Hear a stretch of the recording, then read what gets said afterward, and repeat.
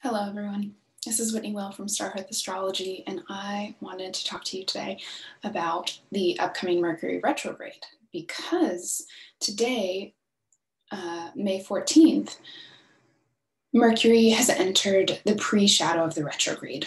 So, what that means is that Mercury has entered the degrees that it is going to retrograde back over. So, from now until May 29th, when Mercury actually stations retrograde, we're kind of in the prelude period of the retrograde. So, if we're paying attention, we should be able to pick up on some of the themes that are going to come up for us during the retrograde period between May 29th and June 22nd. So, I'm just going to show um, a graphic to kind of help um, visualize what I'm talking about here. So, in a Mercury retrograde, there are a few key points. So it's not just the day that Mercury stations retrograde um, and the day it stations direct. We've got a few more that I have listed here. So where we're at today is where it enters the pre-shadow. And so it has moved into 16 degrees of Gemini, which is going to be the degree that it retrogrades back to and stops at. Um, so we've now entered the period between 16 degrees and 24 degrees of Gemini. That's going to be our retrograde degrees. So it's going to move forward and it's starting to kind of slow down until the 29th, where it's going to come to a full stop. And then as we head into June, it's going to pick up speed, but in retrograde motion. So if we were watching it in the sky, if you could see it, which you can't because it's so close to the sun, um, that you won't be able to see it. Or you might be able to see it here eventually as it's moving backwards. You can't see it. So um, it's going to appear to be moving backwards and then it reaches what is kind of the midpoint. It's not always the midpoint calendar wise. So it's not always the, you know, we're not always like two, well, a week and a half into Mercury retrogrades, but it's the midpoint in terms of the degrees of the retrograde, um, where we have the cazimi. So Mercury conjoins the sun. Um, so they come to they come together at the exact same degree of the zodiac, and what we get is kind of a purification of Mercury. So we have the pre retrograde period where you are going to be introduced to kind of the themes um, that will be revisited during the retrograde. And then we start the retrograde. And generally, this first portion before the cazimi is the more difficult part. That is the part where we struggle to communicate, missed emails, technology didn't work, not working, all of those kind of quintessential Mercury retrograde themes. Then at the cazimi, the idea is that you receive the piece of information that kind of makes everything make sense. And so that can be literally a communication or it can be a realization within yourself. So it can be, oh, this stuff is not working because I'm pushing too hard or I'm going too fast, right? Mercury retrograde cycles are an interruption of normally scheduled programming that has to do with kind of the way our minds function on autopilot so if you think about Mercury retrogrades, Mercury goes retrograde three different times a year. And this year in 2021, they're all in air signs.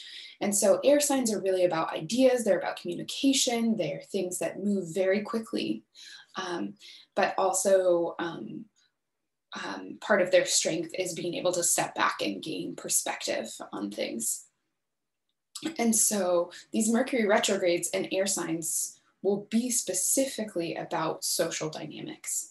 Um, and so it can be, oh, I'm using the wrong words with this person, or I am calling this thing the wrong thing in my mind. And that is causing all of these problems. So the cazimi is kind of the like eureka, oh, I get it moment.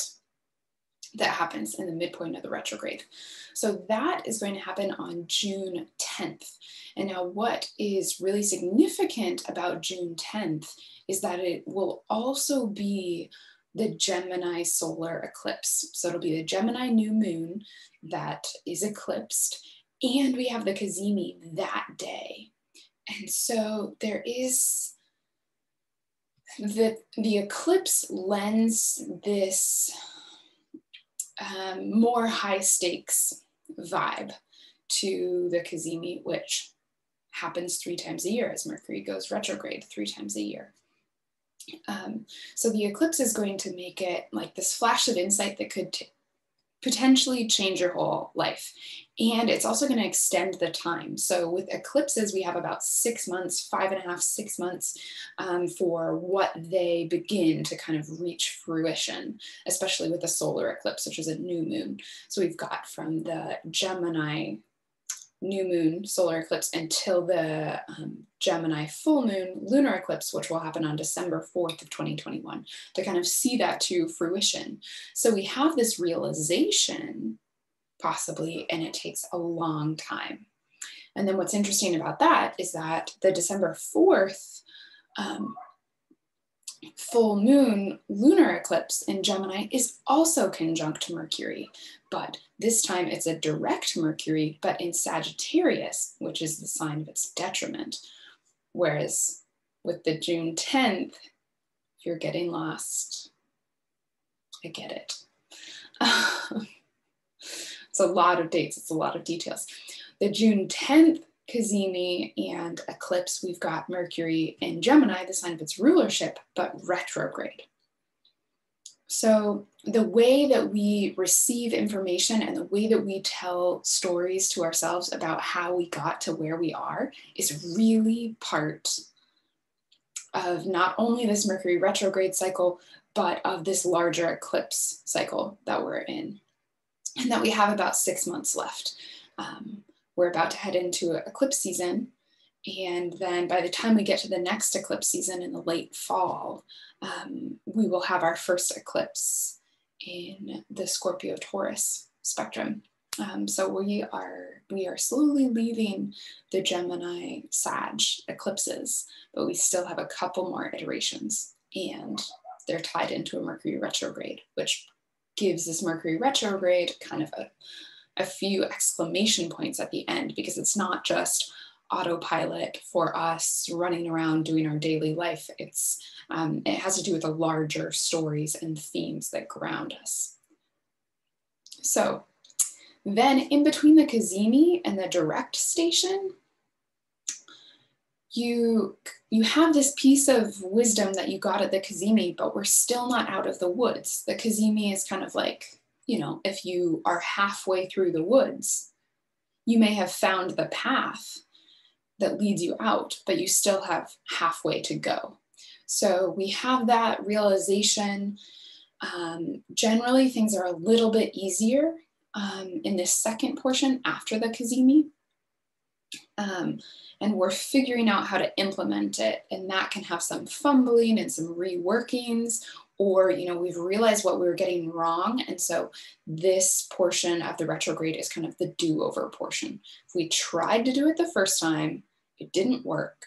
Now we do it over again or we get things set up to do it over again. And then when it stations direct we have what's called the post shadow so mercury will station direct on june 22nd at 16 degrees of gemini.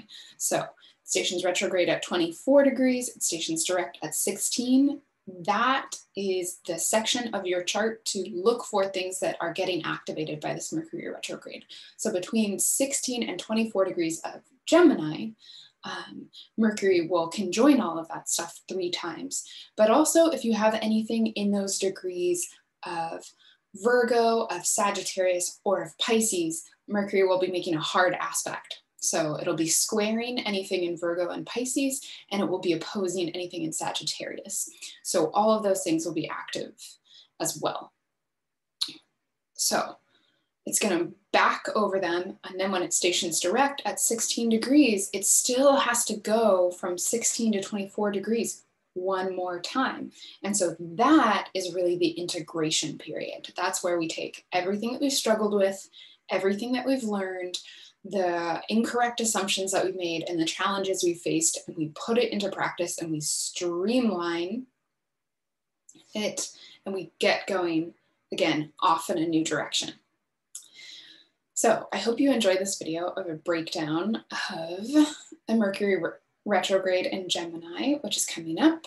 Um, and one of the key features in the next um, in the next couple months, Mercury will finally leave the post shadow on July 7th, and it leaves Gemini for good on July 11th and splashes into Cancer, and we all get to do nostalgia and memorabilia and memoir writing.